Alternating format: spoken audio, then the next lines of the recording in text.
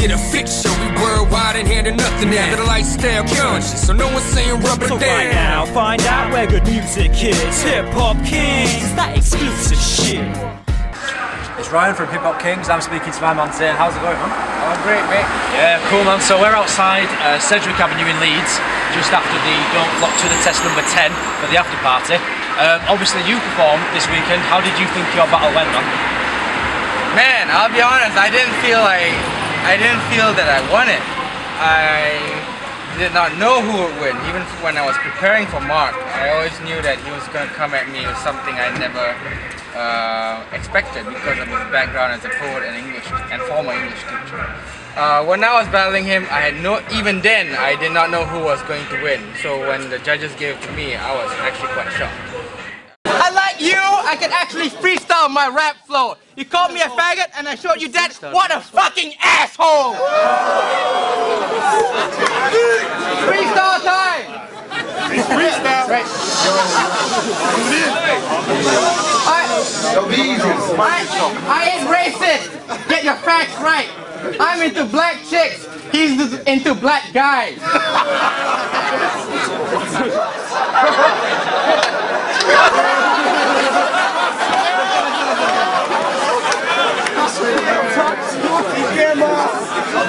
when, when he imagines Billy Swain's naked, he's like, God, that's fantastic. He can make. Listen, listen, listen! Guys, guys, guys, hold it down. He can make African dicks disappear. Call it black magic. But in Malaysia, I'm the only guy telling people to shut the fuck up. I'm the only guy. And here's, uh, and he does it much better than Zain. Yeah, actually he does. Piss off, cunt. And, and yeah, I'm the only guy who would threaten to punch people in the face. Everyone else in Malaysia, to be honest with you, uh, they pussy out. I mean, we do have gangsters and thugs in Malaysia, but for some reason, uh, the ones who are into rapping in Malaysia are the vaginal canals and the nerdy motherfuckers. In my country, uh, in England, if you are a veteran, it is because you have made many albums of superior quality or sold many units or have achieved a lot. In Malaysia, you're a veteran because you're old. That's it. I'm not kidding. This is one dude I know. He's like 35 or some shit. Lives with his mama. Barely sells any units. He's he averages like one EP a lifetime. I'll make your girl eat my semen while she has an abortion the whole time. Listen, listen, listen, listen. The whole time. Listen, funny. Your girl kills your babies but swallows mine.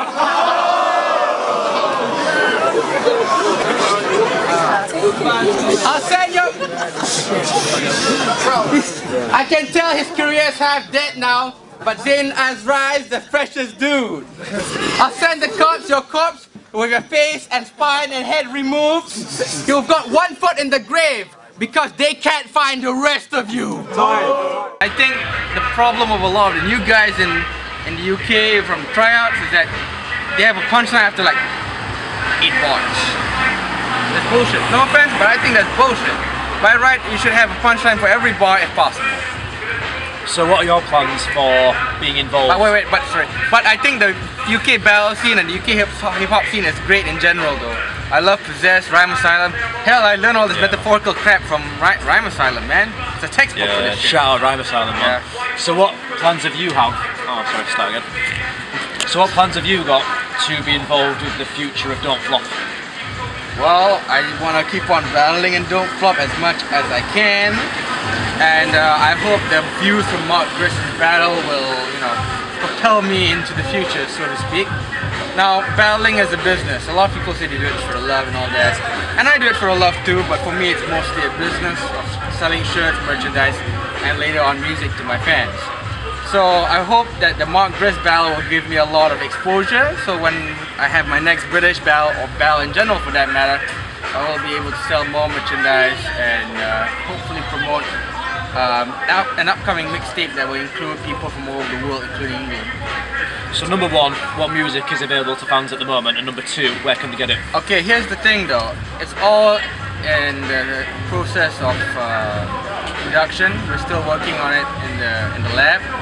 So none of it's out right now, but when, as soon as it's out, I'm gonna promote promote it all to you guys. Uh, I'm part of a rap group called a rap group called uh, Double X Line Line, which consists of myself, uh, Mika, aka Sona One, and Karmal, and some other guys, man. Double X Line Line, yeah. You know, their music is available because they've been in the group longer than I have. They are the originators, etc. You can look up Double X Line Line on Facebook, YouTube, especially Sona One. We rap, we rap in English. Mika raps in English, Malay, and French. Karmal raps in English and Malay. Cool, man. Is there any shout outs you want to add to the end of this interview? Yeah. Shouts out to Eurgh, you know, he's a great league president, he's a great organizer, he's a great friend.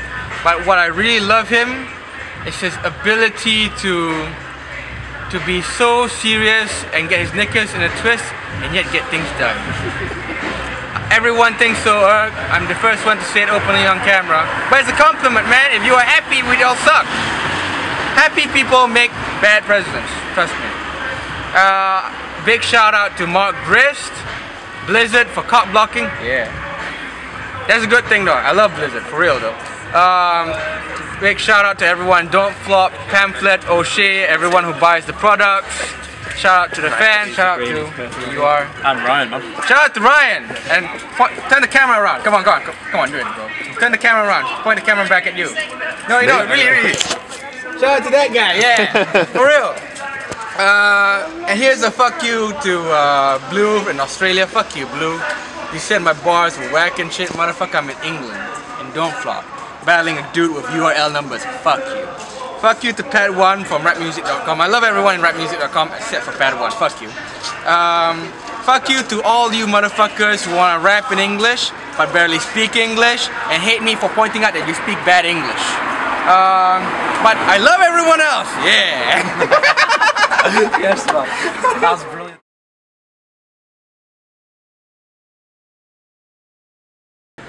Going off the top of the dome with the hardest of flows. You know I'm not offer but yo, I'm kinda spontaneous. Reach for the radius or any circle of meaning, believing I'm seeping into your bloodstream. I dream and transport into a new reality. I rapidly go into a new reality. Oh, but I use that word twice. But here, I keep on being nice. Now let's get back to reality. I, yes, I am into bestiality. Am I into child porn? Maybe. Do I fuck? Maybe. what am I? Crazy. But who do I really like? Ladies.